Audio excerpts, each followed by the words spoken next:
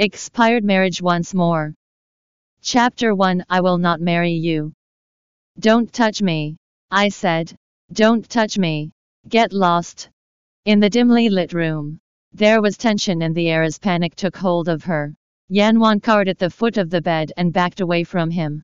But his towering silhouette was approaching her. Like a beast bearing its fangs and claws, he was about to devour her. Don't come any closer. Please. I beg you. Leave me alone. Her her. A burst of deep sinister laughter filled the darkness. It was dangerous as it was scornful. A large hand grabbed her by her jaw, and a man's face appeared from the darkness. His breath was hot as he whispered to her. There is a price to pay for offending me. And now you are going to pay. Price? What price?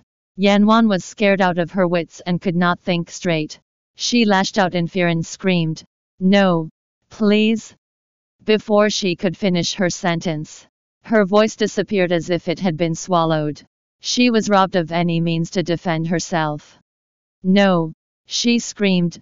Yan Wan opened her eyes wide in shock. She struggled to block out the sun's glaring rays. Her face was pale with cold sweat breaking out on her forehead. She fidgeted restlessly, unable to calm herself down. A dream. It was the same dream again. The soreness between her legs was a painful reminder of the horrid rape that took place the night before. And the threat by her assailant when she fought back as he made his escape. This is not over. I will be back to get you for this. He bit his lips and yelled.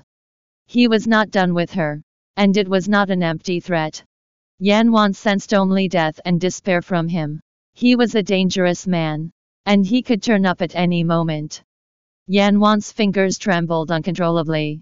Her mind was shrouded with fear as she tried to recall what happened that fateful night. Despite her best efforts, she could not remember anything. She was clueless as to who he was much less how she had offended him. Miss Yan, we have arrived, said the driver. His words interrupted her thoughts. She forced a smile and looked out the window. In front of her was a luxurious cafe. She started to feel queasy. She was about to meet her fiancé, Huo Lichen. He was South City's richest bachelor and the current president of Huiting Group.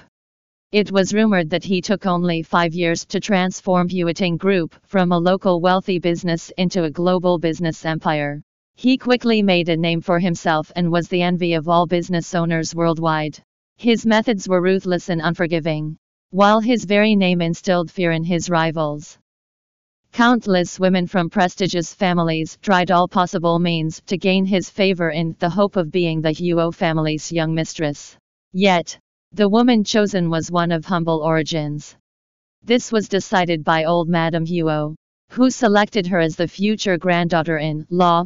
Yan Wan did not know why Huo Lichen wanted to meet her on the eve of their engagement day. However, this also presented her with a golden opportunity to disavow the marriage. This may be the once in a lifetime dream for any other girl. But for her, it was a nightmare. She was raped just before her wedding. And that humiliation weighed heavily on her. She was about to turn down a marriage proposal from a man who was the definition of success. And she had no idea how to do it. With a guilty conscience, Yan Wan covered up the hickeys on her neck left by her attacker. She used her scarf to conceal them carefully. Not a single soul was seen in the luxurious cafe where the patrons were the rich and famous. Not even the staff. Tucked away in a private corner was an elegant man who wore a dark striped suit. His physique was flawless against the well-pressed shirt, and his long legs were crossed gracefully. Above that was a handsome face that would make any woman go crazy. He had a chiseled jaw, dreamy thin lips, and a sharp nose. His very gaze could rob a woman of her breath. This was the face of a man whom women would die for while other men would run from. With a cup of coffee in his hand, his thin lips curled up into a chilling sneer. Did you find her? His special assistant, Wei Qi, stood before him. He did a perpendicular bow and broke out in cold sweat. I am terribly sorry, Mr. Huo. The surveillance tape of the hotel was tampered with. We were unable to retrieve footage of the perpetrator who broke into your hotel room the night before. It would be impossible to identify her by tomorrow. Wei Chi spoke with a trembling voice. That meant the bride of his engagement party tomorrow would not be her. But Huo Lichen was not about to give up. Once he had his sights set on a woman, he would have her one way or the other. She made the mistake of offending him, and he intended to make her pay for it. The skirmish from the night before was only the beginning. One month, Huo Lichen sneered with arrogance. You have South City South City one month to find her. Whatever it takes. What about your engagement tomorrow? Huo Lichen saw the Bentley from the corner of his eye. He pursed his mouth in a self-satisfied smirk. The plan needs a little tweaking. Yan Wan entered the cafe but saw no one except a gentleman. He looked like an assistant as he stood expectantly. Miss Yan, Mr. Huo is waiting inside. Please follow me. He said to her. Okay. From the chauffeur to the exclusive reservation and butler-like service.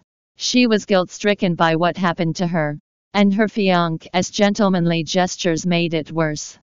Did he want to discuss the details of the wedding? How would she approach the subject of cancelling it? Yan Wan lowered her head in shame as she walked.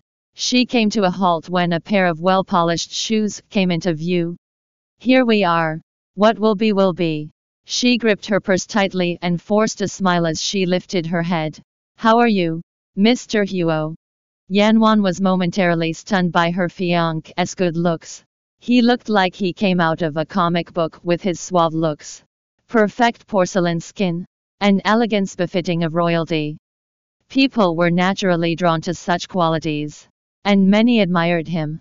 It would be blasphemy to turn her back on such a man. Yan Wan started to stress sweat, and she was visibly unsettled. Her throat felt like a rock had been wedged in, and she found herself struggling to speak. I am here today to discuss our wedding. She began. Listen here, woman. I will not marry you. He interrupted in a condescending tone. He was clear that it was not up for negotiation. Then he drank his coffee without so much as a glance at her. Yan Wan froze. And her mind drew a blank as she stared at Huo Lichen. She could not believe her ears. Won't marry. That would mean they have the same agenda. She suppressed her excitement and asked nervously. So we are here today to break off the engagement. The engagement will proceed as planned. And we will have a divorce one month later. He replied. Huo Lichen raised his eyes and looked at Yan Wan. As if he was an emperor bestowing a charity gift to his subjects. He placed a check on the table.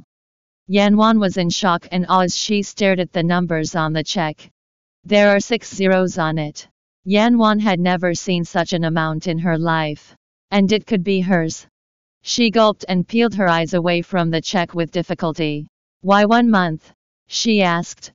It made more sense to call the entire thing off before the engagement. That is none of your concern. He remarked in an arrogant tone. Huo Lichen got up and trotted out without paying any attention to Yan Wan. He had no patience or interest in Yan Wan.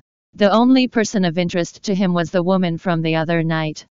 Just like that, Yan Wan stood there shell shocked. She stared at him from behind as he made his way out with no intention of turning back. The entire ordeal was over in a blink of an eye, and he barely said a word. This gave a whole new meaning to the phrase Veni, Vidi, Vici, I came, I saw, I conquered. But it worked out for the best. She only had to put on a show with Huo Lichen for one month. After that, they will go their separate ways. Welcome to download the Bravonovel app. Read the novel Expired Marriage once more online and get the latest updates.